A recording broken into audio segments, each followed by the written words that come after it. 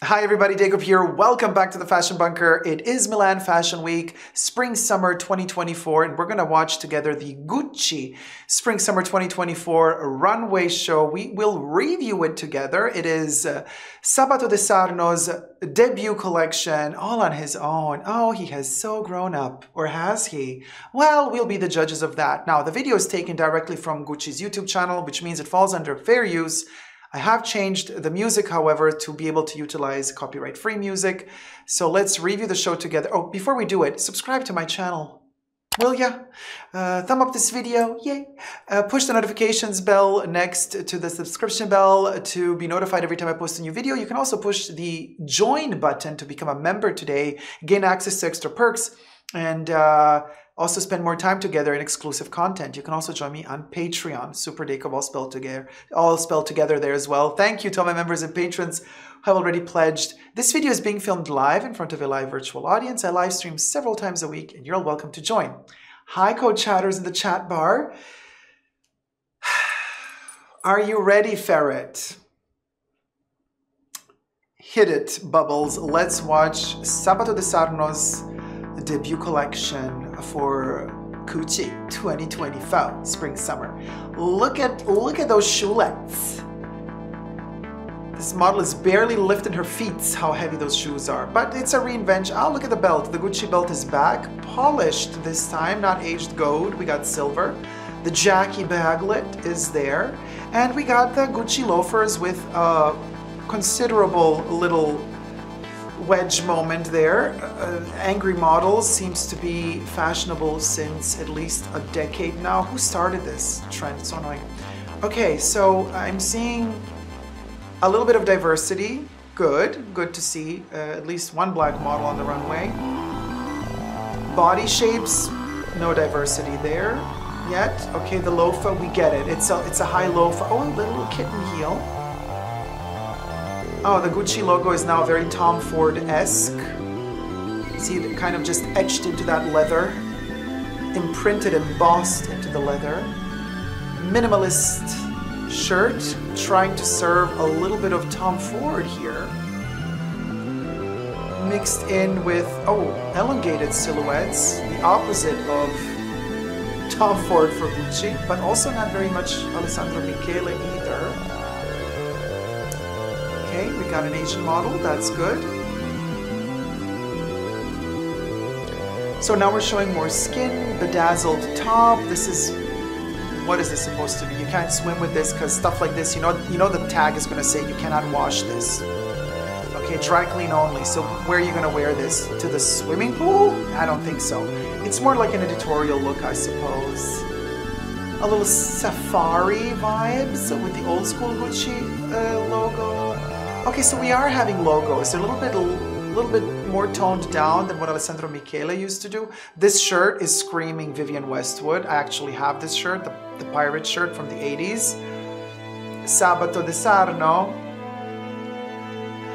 Ti stiamo guardando, tesoro, eh? Sappiamo cosa stai facendo. Vabbè. Okay, then we got a little nude look, a little callback to Skims, callback to, to Kim Kardashian you perchance want her to wear a little Balenciaga moment with the hoodie. Okay, love the shoe with the leather skirt. That's kind of cute. Contrasting that to the zipper. Yeah, yeah I, I, I get what he's trying to do, but no, this, this is not the time in this economy to play poverty when you got the money to afford a leather Gucci skirt, but then you want to like dress down with the zip zipped up little, you know, sporty vibe. Like I don't care, like if I just spent like twenty thousand dollars on this. No, this is not the time to play those games. Sabato de Sarno. No. You know what I mean? You're either gonna go all out and be like a rich snob, or you're gonna dress for less and you're gonna call it a day. Just saying. Now this is giving me Y2K vibes yeah, the Gucci logo on the little strap. Dolce Gabbana did it, did it better. You know, better. Uh, okay. Yeah, pea green coat, cute. You know those fringes are gonna get attached to everything. You're gonna stick like white on rice, as Blanche Devereaux would say. You're just gonna stick to whatever you sit on. You'll never be able to, to stand up again if you wear that coat. Mark my words. Either you're gonna lose a fringe, you're gonna lose a coat, or you're gonna lose a hip because you're gonna fall down because the thing is gonna stick to either another person or other garments or furniture. A cute little warm sweater. You know, you can get at COS, you know, COS, COS vibes. Cause, Cause. See what I did there? Uh, Jackie Baglets and uh, Exotics. This is a really beautiful blue, the skirt, combined with the navy blue. I love this combination of three hues of blue. Oh, this is beautiful. Uh, not because of the shapes necessarily, I just love combination of different blues all in one. Particularly interesting in my book.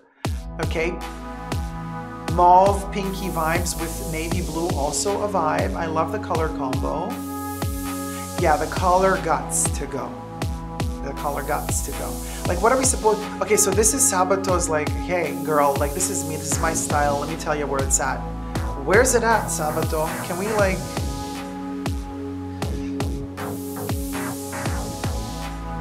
I, I already see people falling in these shoes. You know they're gonna break an ankle sooner or later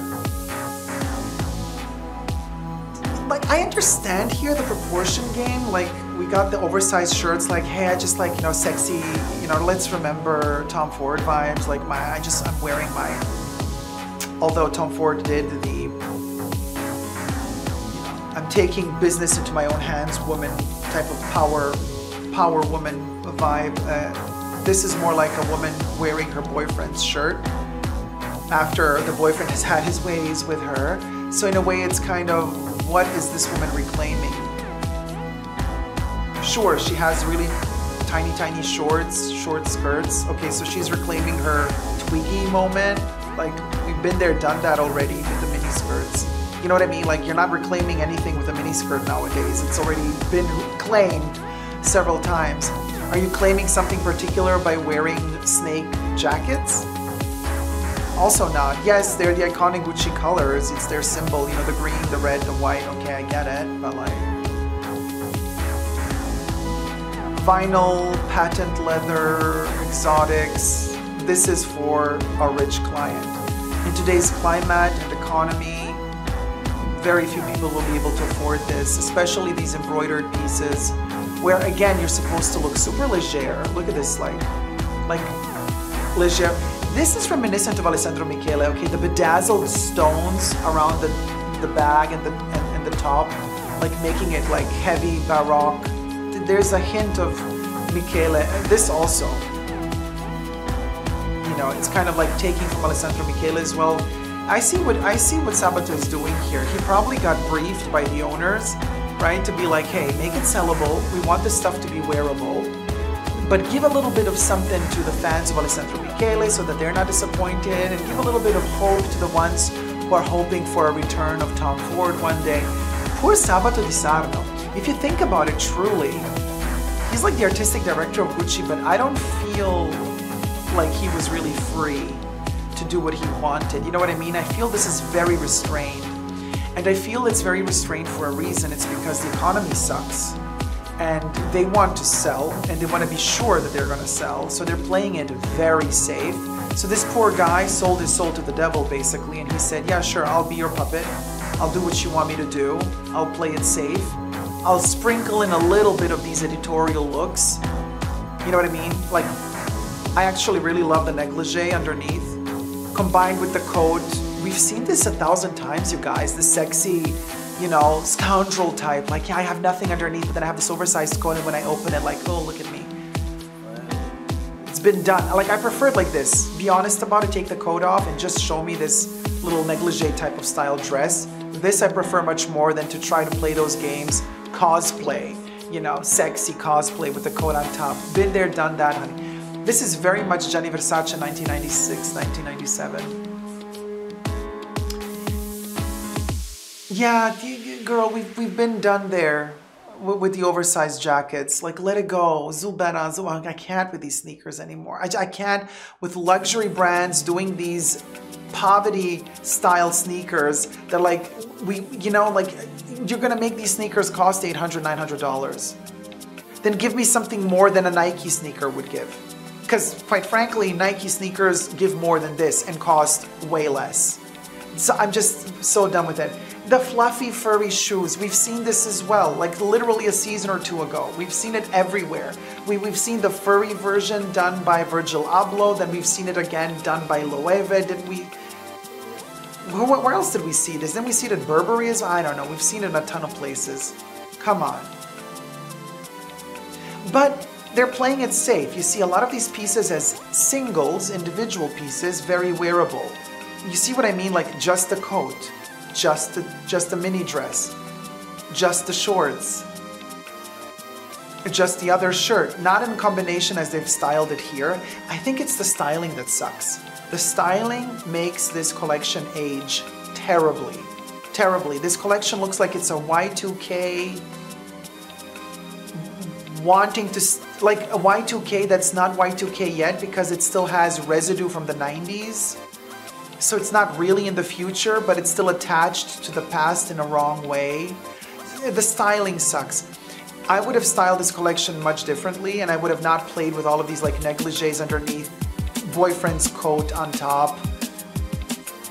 And I would have, you know, not only had skinny models on the runway, where's where's the diversity here? But I see the logic behind this. I do believe that they just wanted to sell. And I think Sabato was given...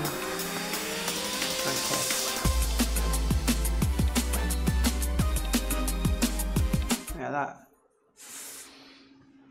Um, I think they just want to sell. And I think that they kind of put him under the bus because this is not memorable. Nobody's going to remember this collection as like the Gucci collection like Sabato began his journey at Gucci with this.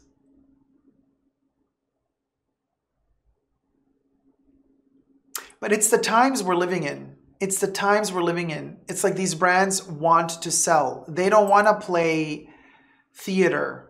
They don't want to give almost no room for wiggle creativity that might not sell, but is a good visual moment. They're literally thinking about what's going to sell once it's hanging in the store. They're not they're not really relying that much on social media you know selfies and photography anymore. They want this to work on a few red carpets and they want this to work in your wardrobe. You normal person who does not have an existence in acting you know red carpet events film festivals you know you're not living that life okay but you still have to wear these pieces. So this has made Gucci way more wearable. You know, those boring pieces that are comfortable, they're a little bit timeless in a way because you, you can wear those shirts even 10 years from now, if you can fit in them after 10 years have passed. Um, and that's that. It's very COS, you know, very COS. Oh, there you go, Cecilia Brown. Very COS meets Prada meets Versace.